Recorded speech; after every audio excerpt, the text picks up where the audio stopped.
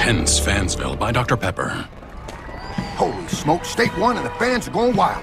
Deputy Ewers, quick, call for backup. Backup? Yes, Deputy Quinn Ewers? We don't need any backup. I got this. Call backup. I'm sorry, did you say you wanted a Dr. Pepper? I said backup. Look, we don't need any backup, even if he has great hair and famous relatives. I think we're talking about two different things here. College football, it's a Pepper thing. You know I made it to the playoff. Without any backup. I get it.